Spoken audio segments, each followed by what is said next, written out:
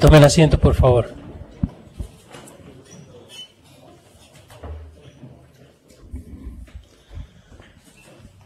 Por secretaría se va a dar lectura al veredicto. Sí, señor presidente. 25 de marzo del año 2019. Visto estos autos caratulados, Reynoso Raúl Juan, Esper Durán María Elena, Gómez René Alberto, Gaona Arsenio, Eladio, Valor Ramón Antonio, Saavedra Miguel Ángel, Aparicio César Julio y Aparicio Rosalía Candelaria sobre asociación ilícita, cohecho y prevaricato en el expediente FSA 11195-2014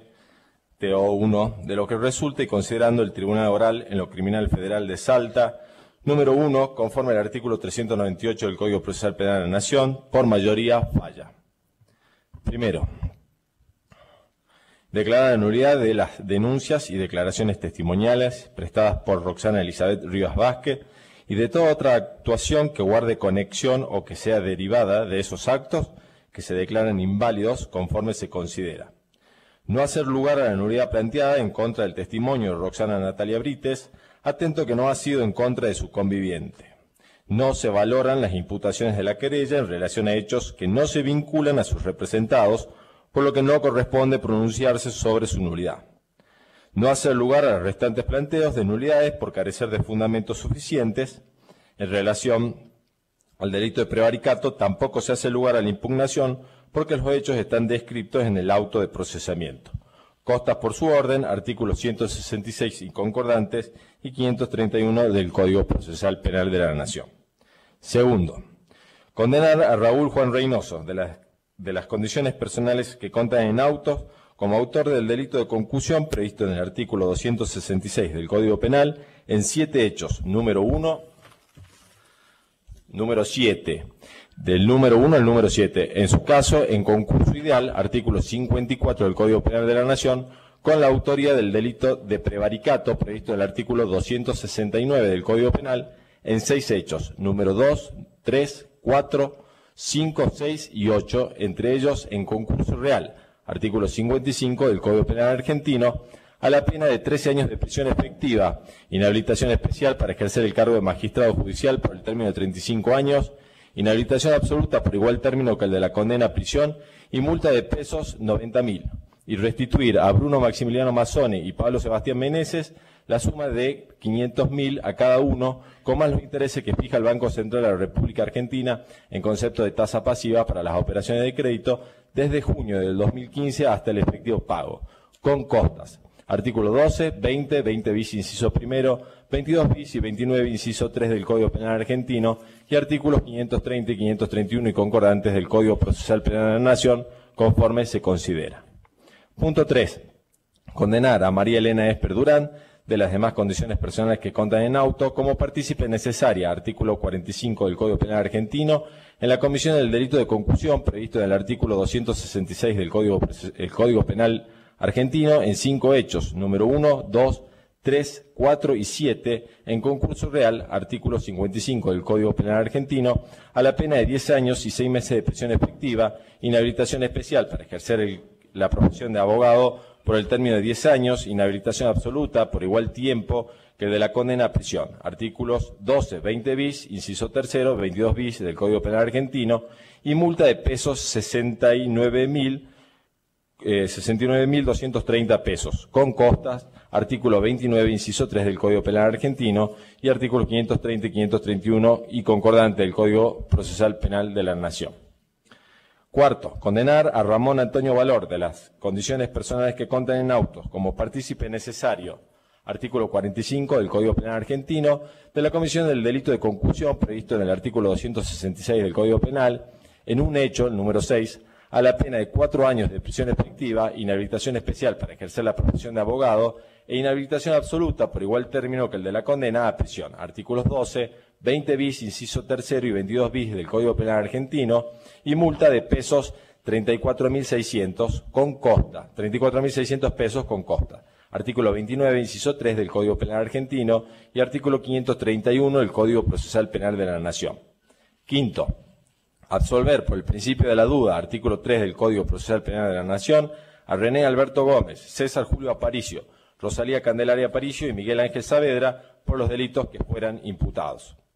Sexto, ordenar el decomiso de la camioneta marca Volkswagen, modelo Amarok, tipo pickup 2.0 LTDI 4x2, dominio KPT078, inscripta a nombre de Miguel Ángel Orozco, artículo 522 y concordante del Código Procesal Penal de la Nación. Séptimo, ordenar la inhibición general de, de bienes a los condenados a pago de multa y restitución de dinero hasta que esas obligaciones hayan sido canceladas y las costas. Esta medida será de ejecución inmediata como medida cautelar. Séptimo, no hacer lugar a la revocación de escarcelación de Ramón Antonio Valor por considerar que no existe peligro de fuga atento a su situación de arraigo. Revocar la escarcelación de María Elena Esper Durán y, en consecuencia, constituir la impresión preventiva domiciliaria, atento a la gravedad de la pena y la frecuencia de sus viajes al exterior, debiéndose disponer la colocación de la pulsera electrónica. Hasta tanto se cumpla con la medida de control antes dispuesta, dispóngase el traslado y custodia en su domicilio el que estará a cargo del personal de la Policía Federal Argentina. Noveno, oportunamente liberar oficios a la Corte Suprema de Justicia de la Nación, al Colegio de Abogados de Salta, al Consejo de la Magistratura de la Nación, a la Corte Suprema de Justicia de la Provincia de Salta y demás organismos jurisdiccionales y administrativos que correspondan para que tomen razón de la presente sentencia. Décimo, diferir la lectura de los fundamentos de la presente sentencia para el día 24 de mayo del corriente año, conforme al artículo 400 del Código Procesal Penal de la Nación. Décimo primero, tener presente las reservas del caso federal y de recurrir en casación efectuadas por las partes al momento de la discusión final.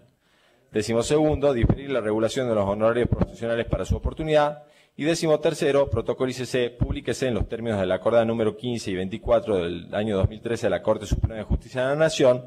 Notifíquese, ofícese oportunamente por Secretaría, practíquese planilla de costas y cómputo de pena. Como nota, se destaca la disidencia del doctor Federico Santiago Díaz respecto a las unidades planteadas. El doctor, Santiago, el doctor Federico Santiago Díaz vota a admitir parcialmente el planteo de nulidad del señor defensor oficial, doctor del campo, en lo referente al alegato del querellante particular en cuanto acusa a Miguel Ángel Saavedra por el delito de concursión en el hecho número 7, respecto del cual no fue procesado sin costa, artículo 531 del Código Procesal Penal de la Nación, y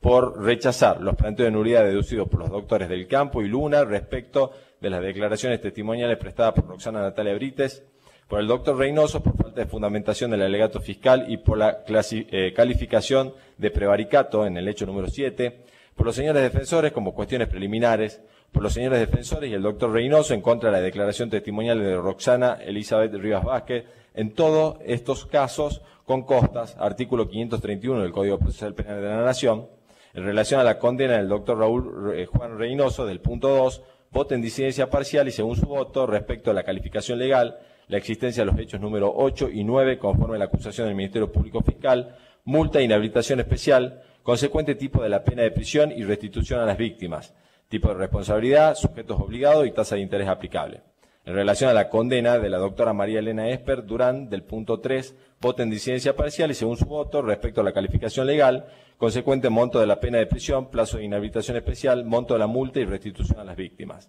En relación a la condena del doctor Ramón Antonio Valor del punto 4, voto en disidencia parcial y según su voto respecto al monto de la multa y tiempo de inhabilitación especial. Respecto a la absolución del punto 5, voto en disidencia total y según su voto en relación al punto sexto, vota en disidencia parcial y según su voto respecto al decomiso del inmueble denominado finca Mollinedo.